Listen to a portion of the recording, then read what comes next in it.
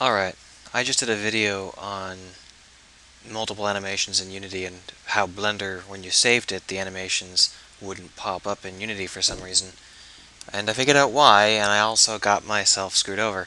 So if you know a lot about anime, uh, about uh, Blender, then you probably are laughing your head off right now. Turns out you can design all the animations you want, but they never get saved. Ever. Your animations will not be saved. So they are in RAM in the current session of Blender, but they are not saved unless something in the scene is actually performing them. So if you create an animation and then save that animation and create a different animation so that you can address them by different names in Unity, the first animation goes away. It gets exported correctly because it's in RAM, but it doesn't get saved to the Blender file. So if you close Blender and open it, you only have one animation left, whichever the last animation you were working on is. Brilliant. The cure is um, this button here. Save this data block even if it has no users.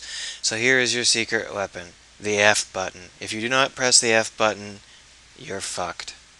And you have to remake all those animations. But not tonight.